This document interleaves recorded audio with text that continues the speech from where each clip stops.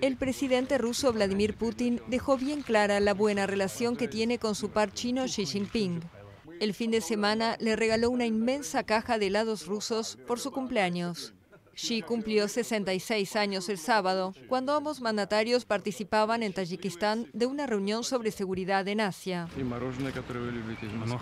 Trajimos buenos regalos y el helado de Moscú que a usted le gusta, así como algo más que podrá usar cuando celebre su cumpleaños con su familia. Putin también le obsequió a Xi un jarrón, bautizado Un día soleado. Finalmente, ambos dirigentes brindaron con champán para festejar.